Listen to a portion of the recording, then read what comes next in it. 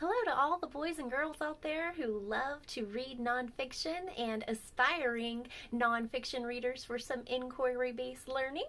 Uh, we have some fantastic books to go over today. So, my name is Miss Tiffany from McDonough Public Library, and I will be sharing with you some new nonfiction books we have received in our Henry County Library system. Are you ready?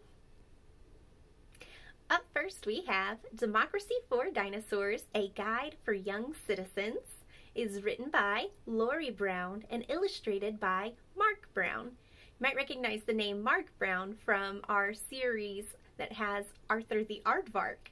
He is the same one. Um, this dynamic duo has a whole series of these dinosaur books that teach about different things, such as how to be a good friend, how to cope with difficult situations. So if you like these kind of books, might be perfect for you. Let's open up and read what this one is about.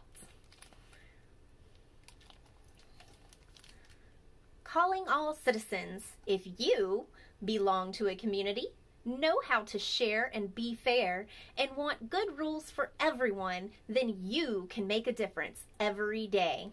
It's never too soon to start putting our country's core values to work, and it's not as hard as you may think. From the creators of the best selling Dino Tales Life Guides for Families series comes an introductory guide that encourages even the littlest ones to become engaged citizens of the world around them. That is Democracy for Dinosaurs, a guide for young citizens by Laurie Brown and illustrated by Mark Brown. And then on the back, there's some interesting illustrations. Hopefully you will be putting this on hold and checking it out soon. This is The Big Book of Blooms by Yuval Zommer. And as you can see, it is a pretty big book. Um, it is all about flowers and things that bloom. And on the inside, I want to share with you some of the beautiful illustrations. Remember in the last video, I said that a lot of nonfiction books have become more engaging because they have beautiful illustrations inside. So this book teaches you about flower families, pollinators, and different kind of blooms that happen throughout the year. But I will read the back so that way you can hear a little bit more about it. What does a Venus flytrap eat? How strong is a giant water lily? Do flowers bloom at night?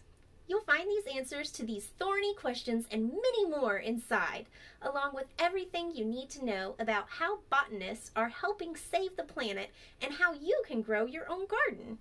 As you meet all kinds of colorful, carnivorous, weird, and wonderful flowering plants from around the world, you can play search and find in the pictures too. Can you spot the special light bulb?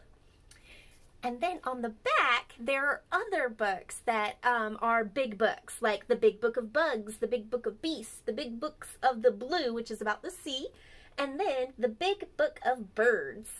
So if you guys ever really like a book and you want to see if there's something similar, sometimes they'll have pictures of the other books on the back as well as on the inside at the back of the book they might have other of their books uh, listed inside.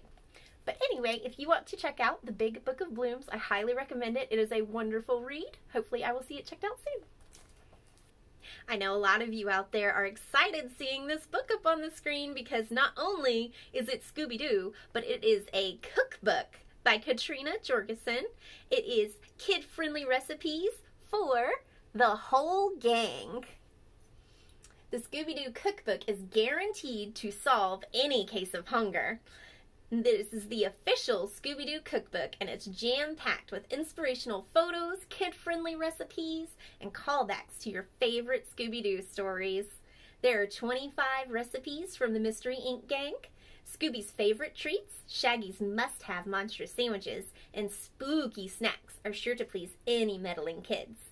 There's tips for new chefs, conversion charts, and lots more. The Scooby-Doo cookbook will be a fan favorite for all ages. It is rummy. So let's open it up and I will show you a sneak peek of the mystery map pizza. So that looks fantastic. It looks like it has pickles on it. So if you are a fan of pickles, you will probably love this pizza. But there are a ton, 25, of recipes in here. So check out the information below with your grown-up and you can see how you can put this on hold and check it out yourself. And for our final book, it is actually a book series. It is um, country books that we have received. So if you feel like going on an adventure from your very own home all over the world, these books might be perfect for you. Or if you have one of those school projects about investigating different countries, these books are fantastic. They are the Big Buddy books. Um, I will show you an example of Kenya. So when you first open it up, you can see a beautiful scene from the country. There's a table of contents and every page will have information about the country and then in the very, very back, it will have all of the statistical facts that usually a project asks for.